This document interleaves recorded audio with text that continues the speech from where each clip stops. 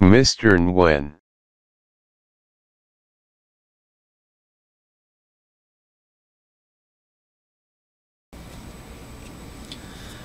Number 9. In cell M2, enter a formula using a nested if function.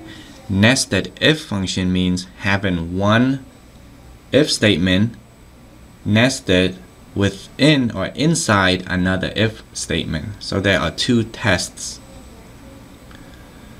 If Adam has leadership training indicated by a yes here in this cell, then say completed. If not, go on to the second test, a second if statement.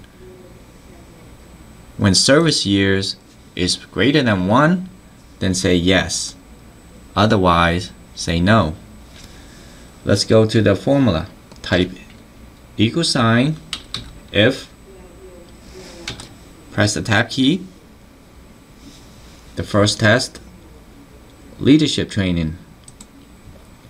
Cell I2 we see a special syntax, a structured reference, because this cell is part of an Excel table.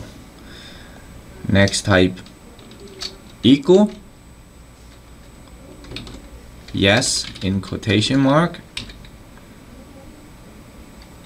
comma completed comma at this point the formula says if leadership training is yes then say completed.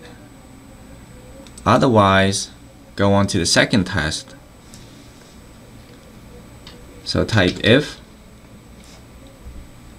tab key service years cell D2 greater than 1 then return the text yes otherwise say no close parentheses and we'll need another close parentheses.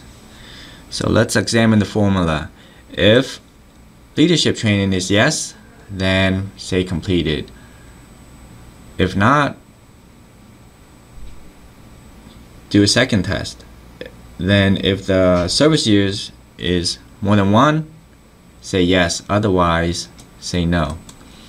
Press the enter key the column autofills, let's do a check. Artie, cell M3, has completed training. That's because in cell I3 shows that he has completed leadership training as indicated by a yes right here. So that is part of the first test. Leadership training is yes, then show completed. This one didn't go to the second test. We'll see the second test under Bo Peterson. If leadership training is yes, then say completed. In this case, Bo did not complete the leadership training as indicated shown by a no right here.